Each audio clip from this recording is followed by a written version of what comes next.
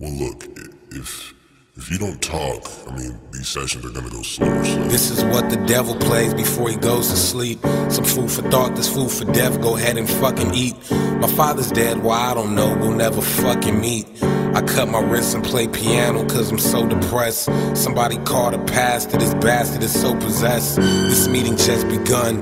Nigga, I'm Satan's son.